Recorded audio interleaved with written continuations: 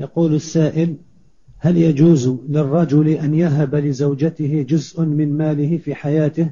وهل هذا الجزء محدد بنسبة معينة؟ هل يجوز؟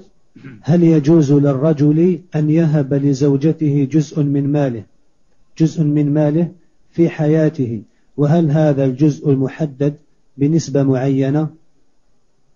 نعم يجوز للزوج أن يهب لزوجته شيئا من المال. لا مانع من ذلك.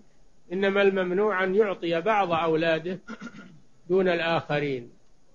الواجب أنه إذا أراد يعطي أولاده أن يسوي بينهم ولا يعطي بعضهم ويحرم البعض الآخر.